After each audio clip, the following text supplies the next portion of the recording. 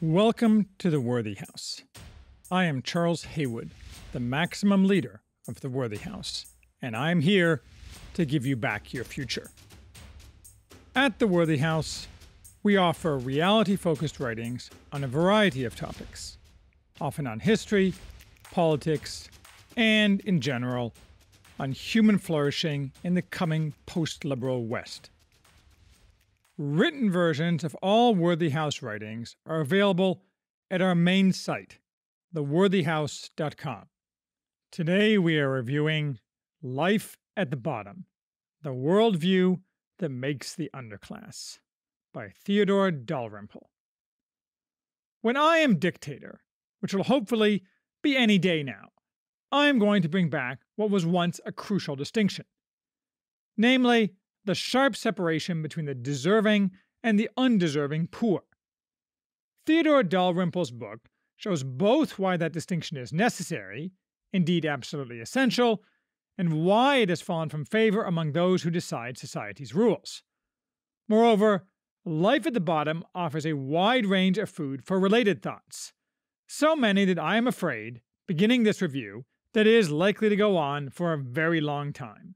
But at the end, I will solve all the problems for you. Strap in. This book is a compilation of short articles written by Dalrymple for the London City Journal between 1994 and 2001. All of them take as their theme the condition of the British underclass, something to which the author was, he recently retired, exposed directly to for decades, working as a physician in a slum hospital and in a nearby prison. From his tens of thousands of patients, the life of each of whom he explored, he was a psychiatrist, not that the vast majority of his patients had any mental illness, he extracted a clear view of their lives, and the lives of all those around them. As a result, this book is not so much a compilation of anecdotes, but the grasping of a pattern, offering heft equal to books that rely more on statistical social science, such as Charles Murray's Coming Apart, and more heft than books relying on news stories and abstract moralizing. In fact, Dalrymple offers almost no moralizing at all. An atheist, he sometimes shifts uneasily in his seat when talking about morality, since he has nothing except utilitarian impact and unmoored societal consensus on which to base claims of morality. On balance, though, that perhaps makes his book more accessible in these post Christian days, though it is surely true only with a recovery of morality and enforced moral judgment will any of the problems he bemoans actually be addressed. His lack of a moral frame is, perhaps, also why Dalrymple too often offers preemptive apologies, such as approving the laughable idea that today's forced non judgmentalism is largely a reaction to the cruel or unthinking application of moral codes in the past, or sagely chanting the required overt falsehood that recent European immigration from inferior cultures is generally a good thing. The reader is best off just ignoring such apologies, which, as always, merely weaken strong arguments and serve no purpose other than corrupting the truth and surrendering to one's enemies. While the book stories blur into an endless round of squalor, violence, and every type of vice, Several major themes run through the whole book, which collectively characterize the worldview of the underclass. The chief one is that all of British society, and the underclass most of all, has wholly absorbed to its detriment the philosophy of non judgmentalism. Everyone, except benighted reactionary outcasts, recoils from the idea that one thing or action is or can be better, more worthwhile, or more moral than another. From that flow, directly or indirectly, most of the underclass's problems, while the classes above them have retained, to some degree, the structures that permit them to avoid the price of non judgmentalism. This is, of course, Charles Murray's point about America. Another is that the underclass has been taught to ignore reality. When Dalrymple points out to a young girl that, being weaker than them, she can always be physically battered by her boyfriends, and she should avoid situations that lead to her being beaten. She denies that she is physically weaker, chanting, That's sexist, and goes back to get beaten some more. And along the same lines, healthy and reality based views of masculinity and femininity have disappeared entirely. A third is that the underclass denies any and all personal responsibility. When a man stabs someone, he says, the knife went in. Jordan Peterson would be appalled. Actually, he is appalled. I noticed after reading this book that it is on his list of recommended reading. A fourth is that they give no thought for the future, living in the eternal present. Concomitantly, they have no aspirations to do or be something better. A fifth is that the underclass expects government handouts, that is, theft from the productive members of the society for their benefit, as an absolute, irrevocable, and non discussable birthright. A sixth is their total ignorance. Of all the thousands of Dalrymple's patients, he says, only a few had more than the vaguest idea of when the Second World War took place. This is because teachers have abdicated their responsibility Plus, any student who shows drive is torn down by his peers. A seventh is the fear that all the underclass lives in, a fear of crime committed by the most criminal among them, about which the police will do little or nothing.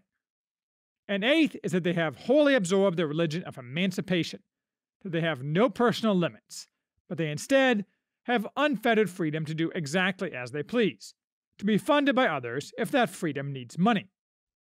A corollary to this is that no hierarchy of persons or values can be permitted, since everybody is aggressively and always equal, which reinforces lack of aspiration. I use the term underclass rather than the poor deliberately, and for two reasons. One is that some people with limited income and assets are not part of the underclass, though they usually suffer as a result of their physical proximity to the underclass. The second is that no member of the underclass is actually poor at all. They may be below the poverty line, but since that line is set as a percentage of all incomes, we will always have the poor with us in that sense, which is not the sense in which Jesus used it. By any rational standard, every member of the underclass is wealthy, having, even without any source of earned income, free food, health care, cash, housing, transportation, and appliances. True, the incentives created by the programs that provide these handouts to the underclass are often perverse, such as encouraging the underclass to stay jobless. Not that most of them need any encouragement. Or in encouraging them to stay unmarried and to have multiple children out of wedlock. But that does not change that, viewed objectively and historically, the British underclass is actually prosperous. And where does the underclass get these habits of thought? Why? From their rulers, naturally, who have been feeding leftist claptrap to them through news and entertainment, and through the minions of government, for decades. Most of these habits are the liquid and the poisoned chalice of the modern left, the nasty fruit of the Frankfurt School.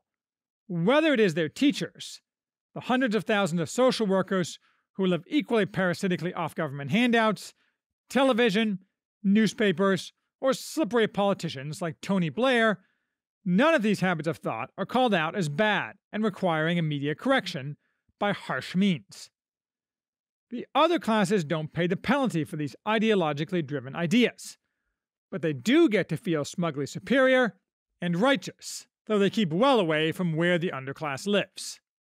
To be sure, there's just as much, if not more, rot throughout the rest of British society, also requiring immediate correction through harsh measures. It's just a different type of rot.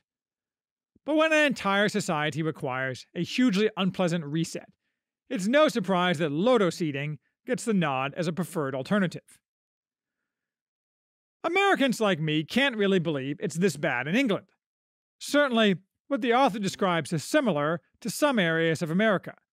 Just read J.D. Vance's Hillbilly Elegy, though the underclass there is not quite as degraded as the one Dalrymple portrays the reader wonders if the author is exaggerating. Not to mention that, if it was this bad in England 20 years ago, how long could this go on? What's it like today? Dalrymple, though now retired, is still prolifically writing for the City Journal. Few recent writings of his touch directly on the British underclass, though those that do don't suggest things have changed for the better. Have things gotten worse? Have things settled down to a permanent state of having X percent of English citizens live in crime ridden, blob like squalor?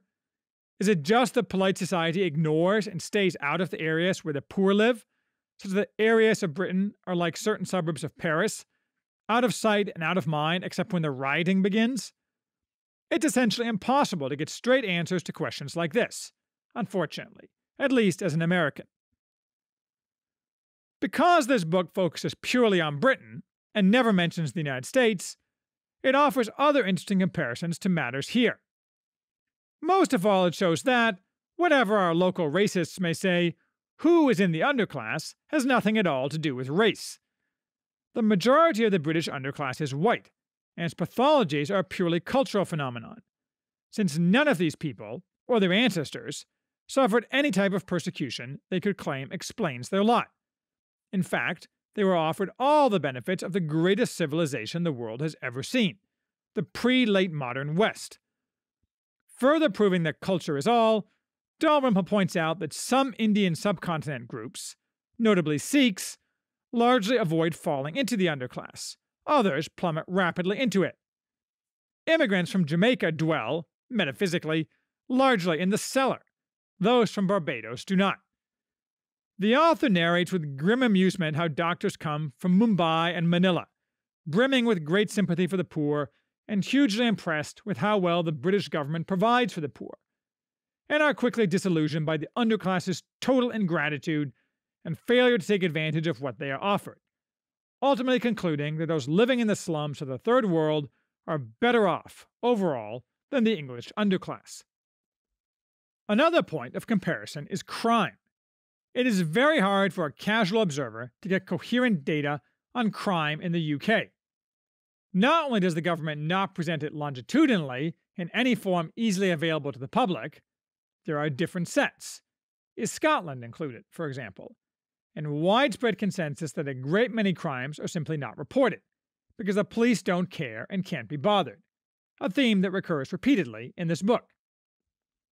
However, the left wing Guardian newspaper noted in 2017 that police recorded crime has risen by 10% across England and Wales, the largest annual rise for a decade, according to the Office for National Statistics.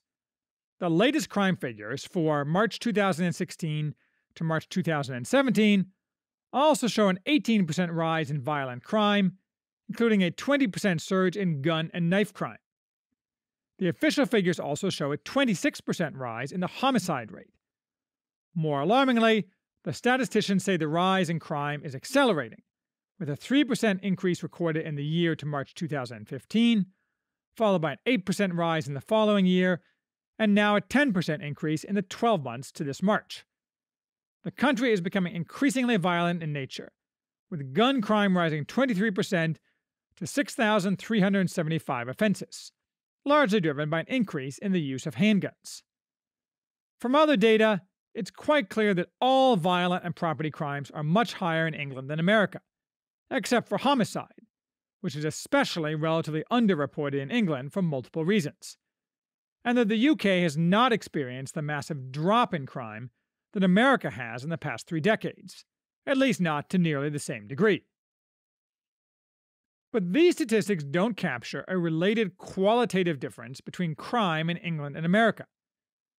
It's hard for people like me to grasp the oppression of the British underclass by crime, something Dalrymple emphasizes.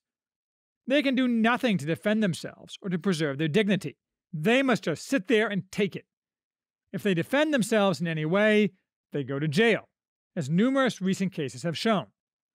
When, having disarmed the law abiding populace, the British elite now shriek that knives are evil, and that kitchen knives should only be sold with blunted points. It's hard to imagine the oppressive feeling of powerlessness and fear that must confine the British underclass. In most of free America, where I live, if I am afraid I may be exposed to crime, to prevent it, I simply carry a Glock. I carry it concealed for discretion, or on my side, visible to all, if I think that trouble may be walking the street, and, as a result, there is no trouble. Many others do as well, and as a result, street crime and home invasions in free America are practically non existent. Aside from its practical benefit, that I and my family are safer, I can tell you from personal experience that the ability to be armed empowers us and adds dignity to our lives. Real dignity, not the fake kind of dignity that Anthony Kennedy parades through Supreme Court opinions. That's something the English underclass is denied. There are other cultural lessons in this book for those of us outside the underclass, which is probably 100% of the people reading this.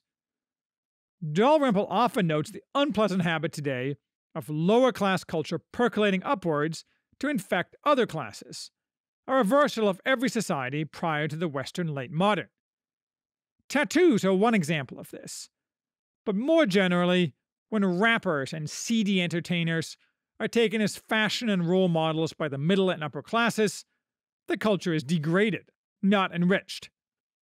All the habits of the underclass reinforce this rot, such as the canard that everyone is equal, and thus we must believe that doggerel is poetry. But it's not just body modification and ugly music that's caught on among the upper classes. It's loutish, drunken behavior in public, the casual use of obscene language, wife beating, and generally what used to be correctly called lower class behavior. Contrary to feminist myth, wife beating, or to call it by its sanitized term, domestic violence, was not at all common outside the lower classes, until quite recently, because of social disapproval. Although, it is true that there are now precious few wives among the lower classes, so maybe the old term is now inaccurate. Needless to say, voluntary degradation is not the way to build a society that is going any place good, though almost nobody dares to say so. Another cultural lesson, with historical aspects, applicable to the United States, is that the destruction of communities by forcing the poor into planned Le Corbusier type brutalist concrete hellholes was driven exclusively by left wing ideology. Nobody disputes this in Britain, which is why Dalrymple just states the fact as obvious and undisputed. The same ideology drove similar destruction and construction in America, which is no surprise. But in recent decades, because of the total failure of such housing in America and the harm it caused the underclass. The left has taken to lying and saying that it was racist conservatives who pushed building Cabrini Green, the Robert Taylor homes, and other fantastically pernicious housing projects. No doubt racists, many or mostly left wing, have negatively affected housing patterns for African Americans. But high rise public housing is not an example of that. In both Britain and America, it was and is solely the responsibility of the reality unmoored utopian left. This book performs the service of exposing the lies of the American left on this topic, since there was indisputably no racial element in this forced migration in the United Kingdom. I also found it interesting that the term Asians as a general term for those from the Indian subcontinent does not appear once in this book. That suggests the usage is of quite recent vintage. My 1989 copy of the second edition of the Oxford English Dictionary does not list that use of the term, nor do the printed editions through 1997. Like all politically chosen terms, it is also subject to ongoing forced change. In recent years, Sikhs and Hindus, annoyed that Muslim crimes such as terror and rape are characterized as being committed by Asians, have petitioned that the term not be used, although it is not clear what they want to substitute. It's not like the press is going to start calling Muslim crimes Muslim crimes. I'm not sure why the new term Asians was forced into common use, or what came before. I am told, by the shocked look on my English cousin's face when I use it, that Paki is regarded now as a slur. So presumably Asian was brought in as a euphemism, which, like most euphemisms, clouded communication. So maybe the Sikhs now prefer to be called Pakis again, a slightly more accurate term, certainly, than Asian, and one which does not get them lumped in with child rapists. Muslims don't show up much in this book, causing the problems they cause in Britain in the 21st century. Dalrymple wrote before a toxic brew of Muslim aggression and triumphalism, government fecklessness, and left ideology really started to poison Britain. Rumors and echoes of this show up occasionally, though, especially when the author notes the police deliberately ignore crimes so as to avoid any possible claim of racism, demanding zero intolerance. I wonder what Dalrymple thinks of the Yorkshire Police's current campaign to encourage reporting to the police of any non criminal behavior that constitutes hate, while they ignore their actual job of fighting crime. Part of the poison is terrorism, supported by a significant percentage of British Muslims. In 2017, a large survey showed that 25% of British Muslims were willing to openly support wholly replacing all British law with Sharia law, and 33% supported killing anyone who insulted Muhammad. But far worse is the cultural poison of the Muslim underclass not related to terrorism, with the tip of the iceberg revealed by the Rotherham crimes in Yorkshire, where Muslim men groomed more than a thousand non Muslim girls for mass rape over many years, ignored by the police who were terrified of being called racist. Such treatment of infidel women is both permitted and celebrated by mainstream, though not by any means exclusive, interpretations of Muslim law. I suspect that even now Dalrymple doesn't touch too much on these matters, since it is forbidden in Britain and you will be arrested if you say these things. I would be if I said the preceding paragraph on the street near a policeman. A recent column of Dalrymple's noted that he keeps his mouth shut on certain topics, not because of fear of arrest, though maybe that too, because if he talked about them, everyone I know would cut me dead. The Muslim underclass is, though, at root just a specialized underclass problem. And ultimately, all of these problems need a common solution. They cannot be addressed piecemeal. If there is one overarching political lesson to be learned from this book, it is that democracy should be sharply limited. As long as the underclass has political power, it will be used to reinforce their pathologies, even though the source is not of the underclass. Only a fool or an ideologue would think that it is a good idea that any of the people who appear in this book be allowed to vote or to have any say whatsoever in the governance of society.